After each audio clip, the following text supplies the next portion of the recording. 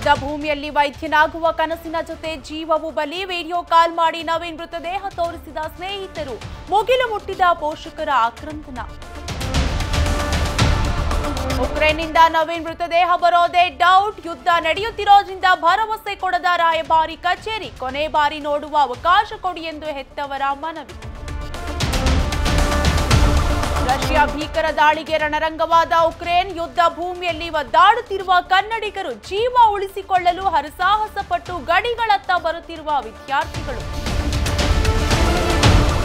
ಪ್ರತಿಭಾನ್ವಿತ ನವೀನ್ ಸಾವಿಗೆ ಮಾಜಿ ಸಿಎಂ ಎಚ್ಡಿಕೆ ಬೇಸರ, ಬಡ ವಿದ್ಯಾರ್ಥಿಗಳ ಪಾಲಿಗೆ ನೀಟ್ ಮರಣ ಶಾಸನ, ಕೇಂದ್ರದ ಶಿಕ್ಷಣ ನೀತಿ ವಿರುದ್ಧ ತೀವ್ರ ಅಸಮಾಧಾನ.